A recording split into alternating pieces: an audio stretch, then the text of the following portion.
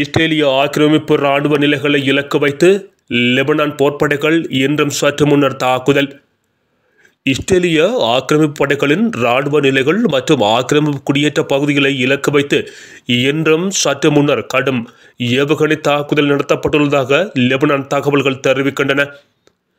தமது மண்ணின் மக்களின் குடியிருப்பு பகுதிகளை இலக்கு வைத்து எதிரி படைகள் கடுமையான தாக்குதலை நடத்தியதாகவும் அதற்கு பதிலடியாகவே தாங்கள் இந்த தாக்குதலை நடத்தியதாக லெபனான் போராளிகள் தரப்பில் தெரிவிக்கப்பட்டுள்ளது.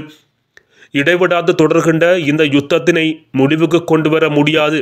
தத்தளித்து கொண்டிருக்கும் மேற்குலக நாடுகளும் அமெரிக்காவும் ஆயுதங்களை வழங்கி எரிகின்ற வீட்டில் எண்ணெயை ஊற்றுவதாக குற்றம் சுமத்தப்பட்டு வருகின்ற இந்த வேளையில் எமது மக்கள் மீது தாக்குதலை நடத்தி லெபனானை காசாவை போல் ஆக்க முடிந்தால் அது உங்கள் நகரங்களும் அதுபோல் ஆகும் என்பதாக தெரிவித்து தற்பொழுது தாக்குதலை நடத்தி கொண்டிருக்கிறது வீரப்படைகள் கிஸ்புல்லா ஐநூற்றி எழுபதுக்கு மேற்பட்ட வீடுகள் அடித்து நொறுக்கப்பட்ட நிலையிலும் மேலும் பல நூற்றுக்கணக்கான வீடுகள் சேதமாக்கப்பட்டு கொண்டிருக்கிற நிலையில் இஸ்ரேல் தரப்பும் பலத்த இழப்புகளை காசாவைப் போல சந்தித்துக் கொண்டிருக்கிறதை அங்கிருந்து வரும் தகவல்கள் தெரிவிக்கின்றன.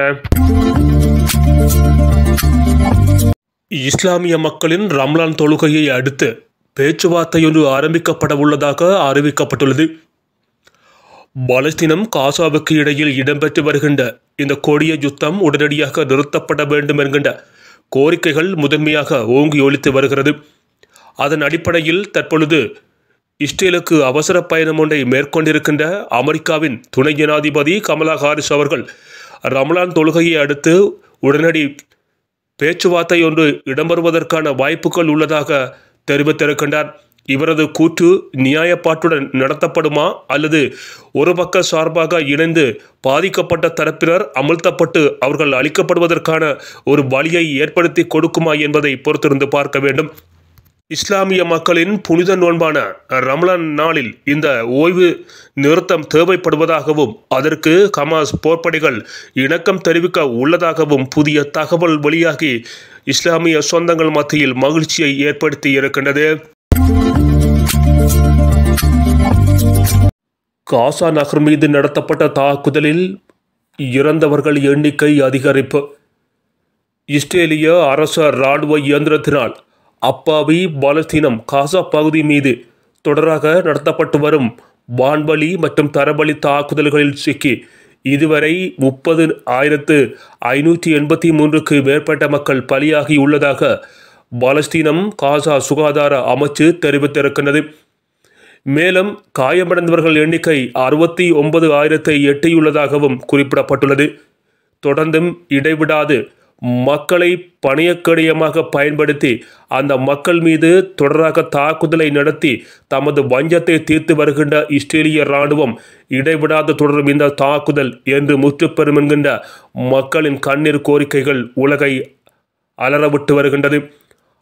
ஏகாதிபத்திய வல்லாதிக்கத்தின் அனுசரணையுடன் நடத்தப்படும் இந்த கொடிய போரிலிருந்து அந்த மக்களை பாதுகாக்க வேண்டிய தார்மீக கடமை இந்த மனித உரிமை பேசுகின்ற நாடுகளுக்கு உள்ளதாக உலக அரங்கில் ஓங்கி போராட்டங்களை நடத்துகின்ற போராட்டக்காரர்கள் தெரிவித்து வருகின்றனர். ஓயுமா இந்த போர்? பலியாகும் உயிர்கள் தடுக்கப்படுமா? அமைதி சமாதானம் மீண்டும் முளைக்குமா? இதுவே நேயத்தையும் நேசத்தையும் விரும்பும் மக்களின் கேள்வியாக உள்ளது. பட்டினியோடு கதறுகின்ற அந்த குழந்தைகளுக்கும் மக்களுக்கும் உணவு கிடைக்குமா? ஆம் சமாதானம் மலரட்டும். அதுவே ரமலான் நோன்பில் மக்களின் அனைத்து வேண்டுதலாகவும் இருக்கின்றது.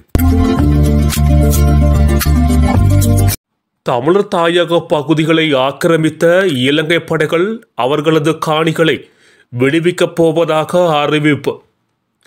தமிழரின் பாரம்பரிய பூர்வீக குடிகளை ஆக்கிரமித்து நிலை கொண்டிருந்த இலங்கை இராணுவத்தினர் அங்கிருந்து விலக உள்ளதாக புதிய அறிவிப்பு வெளியாகியுள்ளது.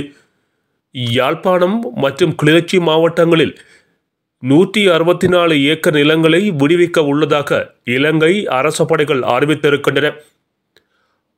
பல ஆண்டுகளாக இந்த மண்ணை ஆக்கிரமித்து அங்கு தமது கட்டுப்பாட்டுக்குள் வைத்திருந்த இலங்கை அரச படைகள் தற்பொழுது அந்த காணிகளிலிருந்து வெளியேறுவதாக அறிவித்தல் விடுக்கப்பட்டுள்ளது.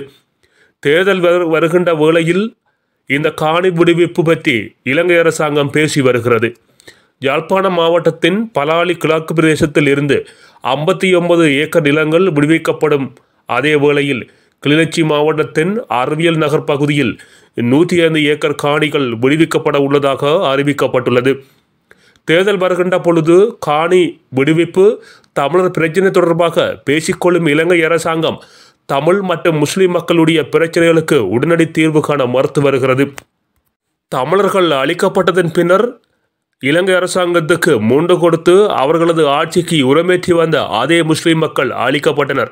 சொத்துக்கள் சூறையாடப்பட்டனர் பழிவாங்கப்பட்டனர் ஆனால் அவர்களது பிரதிநிதிகளாக விளங்கிய அரசுக்கு முண்டு கொடுத்து வந்த அதே இஸ்லாமிய எம்பிக்கள் அமைச்சர்கள் அந்த தாக்குதலை வேடிக்கை பார்த்து கொண்டிருந்தது என்பது காலத்தின் வரலாக பதிந்துள்ளது. இங்கே குறிப்பிடத்தக்கது.